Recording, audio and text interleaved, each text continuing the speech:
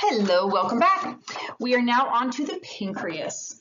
Um, the pancreas is a mixed organ in that it is both endocrine and exocrine. Endocrine that it releases a couple hormones, exocrine that it releases digestive enzymes and um, alkaline buffer. We're going to talk more about the digestive functions in the digestive system, we're just going to focus on the endocrine system here.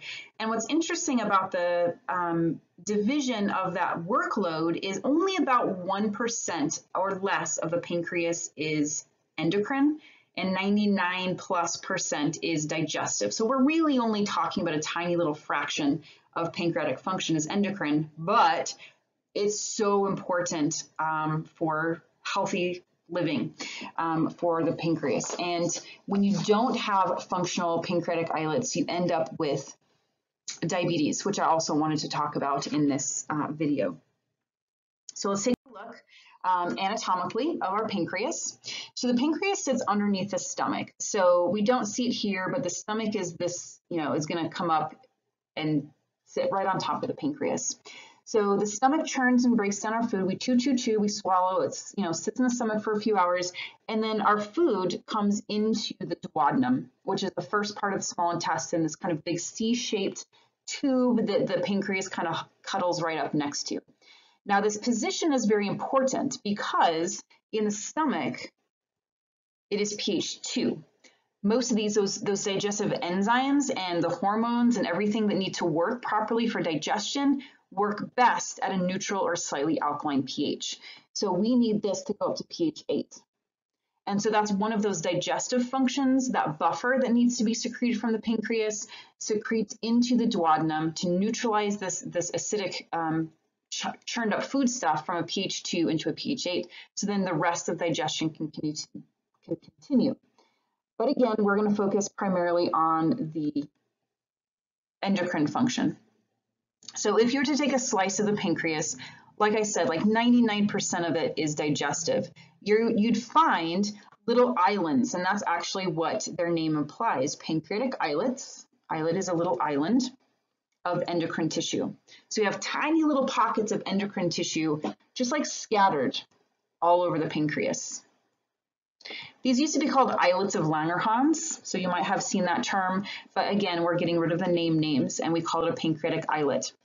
Um, and in the pancreatic islet, we have um, different kinds of cells, different groups of cells. We have alpha cells and we have beta cells. That really doesn't show up very well. So alpha cells and beta cells. So alpha cells produce a hormone called glucagon, and beta cells produce insulin, which we are a little bit more familiar with um, with association with the pancreas. We can't really tell the difference in a microscope slide. Um, we just need to know alpha cells for glucagon, beta cells for insulin. Um, let's take a look. I think I have a diagram that kind of shows the overview and the regulation between, because these are antagonistic, just like PTH calcitonin. Yeah, there we go. All right. So homeostasis we need to have normal blood glucose levels around 70 to 110 milligrams per deciliter. So that's why people who are diabetic have to test their blood glucose levels because it is insulin that helps to regulate that. But let's see um, what happens when your blood glucose levels rise say after a meal, which is totally normal. That's what we're expecting to happen. So your body breaks it down, the all the sugar from your foods absorb into your capillaries, which circulate throughout the whole your body. So again, this is humoral stimuli. Those um, beta cells monitoring the blood, saying, okay, blood sugar is a little bit high, let's do something about it. It releases insulin. Insulin targets all of your body tissues. Um, primarily liver and skeletal muscle, but all of your body tissues are sensitive to insulin. Um, for all cells, it increases glucose coming into the cell. So let's say this is your typical body cell. In that body cell, there is a channel that allows glucose to come in. If insulin is being released and insulin comes in and insulin binds on that receptor channel, then glucose comes into the cell from the blood into the cell. So when we talk about the effects of insulin, it decreases blood glucose levels. And the reason why is because insulin is the key to open the gate to allow glucose to come in from the bloodstream and get into the cells so then the cells can use it uh, or store it, okay? So that's one of the functions, kind of the main body-wide function. It also, the arrival of that insulin helps to increase that glucose usage and ATP generation. So you got to think back to your cellular respiration, glucose, glycolysis, Krebs, acetyl um, electron transport chain. So in that is like a stimulator. Insulin helps to stimulate that. In liver and skeletal muscle, the arrival of insulin triggers those organs to store glucose as glycogen. Now remember, glycogen is a storage molecule. It's hundreds and hundreds of glucoses all hooked together. So liver is like our glucose pantry, um, and skeletal muscles for their own cells are the glucose pantry. Because if you remember, moderate and peak level of activity, we have to start breaking down that glycogen to burn the glucose to power our myosin heads. Okay. Insulin also helps to increase amino acid absorption and protein synthesis. So not only does it allow glucose to come into the cells, but it will also allow a different color amino acids to come in. And then lastly, it will increase fat synthesis, adipose tissue. So we're going to put more fats into our adipose tissue. All of these things primarily um, the action of storing glucose in your liver, in your skeletal muscle, and allowing glucose to go into your body cells, that's what decreases blood glucose concentrations, bringing us back down to homeostasis.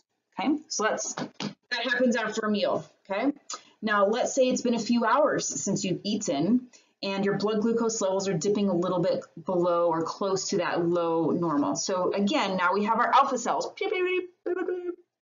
monitoring our blood. Blood glucose is getting low. Blood glucose is getting low. What are we going to do? So they release um, glucagon. It doesn't have as many targets because what are we trying to do? We're trying to increase blood glucose levels. So where did we store all that glucose when the times were aplenty, you know, after the Froot Loops in the morning? Well, we are going to go to our um, liver and skeletal muscle primarily because that's where we stored it in the time of plenty. Now is a time of famine, so we got to release that stored glucose. So glucagon targets primarily your liver and skeletal muscles to break down all that stored glycogen to produce glucose. All the fats that got stored in adipose tissue, we can break those down, and because um, fatty acids can be metabolized. Um, and it also triggers the synthesis to, of the liver to actually make new glucose. So there's a process, we're going to talk more about this in the digestive system, but we actually have the ability of liver cells to make brand new glucose, not just break it away from a stored form, actually new glucose. And so now our blood glucose levels rise, homeostasis is restored. So your blood glucose levels does this dynamic equilibrium all throughout the day, right? So after breakfast, after lunch, after dinner, and then you sleep, and then you have breakfast to break your overnight fast, and you have breakfast, lunch, and dinner. So we have this increasing of blood glucose regulating by insulin, decreasing of blood glucose regulating by glucagon, and then you eat a meal and then we're, you know, um, the increase of blood glucose will be regulated by insulin and so forth and so on. You have that throughout the day. Okay. So what I wanted to talk about, so that's kind of the functioning of those hormones. What I wanted to talk about was diabetes because it's huge. Um, the population in the United States that have diabetes, unfortunately, is very, very high. So what is diabetes? Well, there's a couple different forms of diabetes. We have adult onset, which is called type 2. And we have juvenile or type 1. Okay, so type 1 also is called um, insulin dependent diabetes, where usually it's um, a developmental or congenital problem with a pancreas just not producing insulin, and you are required to have insulin handy to be able to externally regulate your blood glucose levels, okay?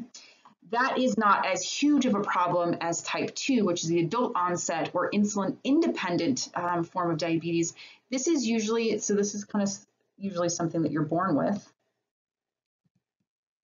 This is more of a lifestyle results. So if you have poor eating habits, you have poor exercise habits, those things, and it's genetic, there's some genetic aspect to it too, but you can always improve your diabetic outcome or outlook um, with better lifestyle choices. So why it's called adult onset is typically because if you have your poor diet and exercise habits, you, if you eat a lot of sugar or a lot of fat, what happens is your pancreas is continually stimulated to release insulin and your cells are constantly listening to insulin.